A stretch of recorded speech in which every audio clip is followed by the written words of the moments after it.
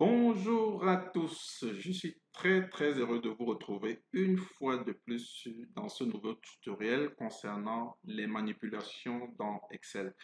Aujourd'hui, nous allons voir quelque chose de très important, surtout pour ceux qui ont des tâches à gérer au niveau d'Excel, ce qu'on appelle généralement les to-do list, voilà, pour généralement savoir euh, qu'est-ce qu'il y a à faire, qu'est-ce qui reste à faire, qu'est-ce qui a été fait, ainsi de suite.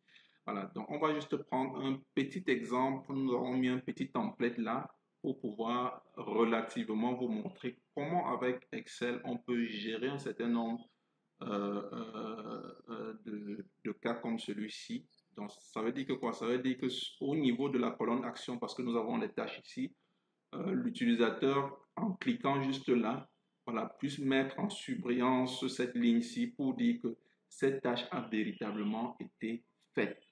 Donc, c'est vrai que dans la vraie vie, euh, le tableau peut être plus grand que ça en matérialisant les dates d'échéance, les dates de début de tâche, ainsi de suite. Mais nous allons nous focaliser sur ces deux messieurs-ci afin de, de matérialiser ce qu'on veut vous montrer aujourd'hui. Donc, vous pouvez également l'étendre si votre tableau est plus grand pour que ça puisse se matérialiser sur chaque ligne, fut-elle si grande que ça. Ok, allons-y, let's go. Passons de l'autre côté. Donc, euh, première chose, nous allons mettre ce qu'on appelle des objets euh, dans l'onglet développeur ici, ce qu'on appelle des cases à cocher, qui sont un peu dans euh, l'onglet développeur. dans l'onglet développeur à insérer, vous avez la case à cocher ici. Si l'onglet développeur n'est pas activé chez vous, il suffit juste de venir ici à un clic droit, personnaliser le ruban. Vous voyez ici, à personnaliser le ruban, vous avez cet ensemble d'onglets ici. Si elle est décochée comme euh, celle qui est ici, là, ça veut dire que ça ne va pas apparaître forcément sur la page principale d'Excel. Et si elle est cochée comme celle-ci, vous voyez, c'est pour ça que c'est là. Donc, si elle est décochée chez vous, prière de juste venir cocher ici et de venir mettre OK juste là en bas. OK, ceci dit, nous allons repartir pour aller chercher au niveau de l'onglet développeur la case à cocher. on va venir le matérialiser ici. Super. OK, et on va enlever un peu tout ce qui est à l'intérieur. Donc, vous, de votre côté, vous pouvez mettre tout ce que vous voulez également, hein, un texte. Mais moi, de mon côté, je ne voudrais pas qu'il y ait un texte qui apparaisse ici. Et là, on va juste venir faire un copier-coller ou bien faire une incrémentation vers le bas pour que l'objet puisse se retrouver un peu sur toutes les autres, autres lignes. Donc, troisième chose qu'on va faire, c'est de lier, lier un peu cet objet à une cellule. Et nous, on va choisir, voilà, à cellule liée, on va faire clic à l'intérieur et choisir juste la cellule qui est juste à côté. Ceci pour chaque, euh, chaque ligne, on va faire également la même chose.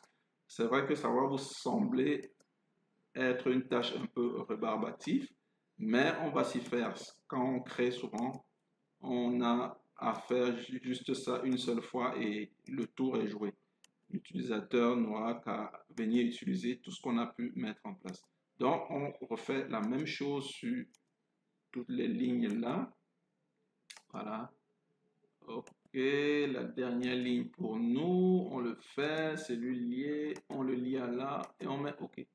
Voilà, super. Donc, Dès qu'on a fait ça, la dernière chose à faire, c'est juste de venir y appliquer une mise en forme conditionnelle. Je pense que euh, si vous ne connaissez pas ce que c'est, euh, vous avez, je vais mettre en, bas un peu une formation, une petite, un petit tutoriel qui parle un peu de ça. Donc, euh, voilà, nous avons sur cette ligne, ceci, nous avons sélectionné toutes les tâches, ainsi nous avons incorporé également la ligne sur laquelle les deux euh, éléments si les deux euh, cellules-ci sont, liées. On va aller à l'onglet Accueil, mise en forme conditionnelle et à Nouvelle règle. À Nouvelle règle, on va aller rapidement à, utiliser une formule ici et on va taper à l'intérieur égal.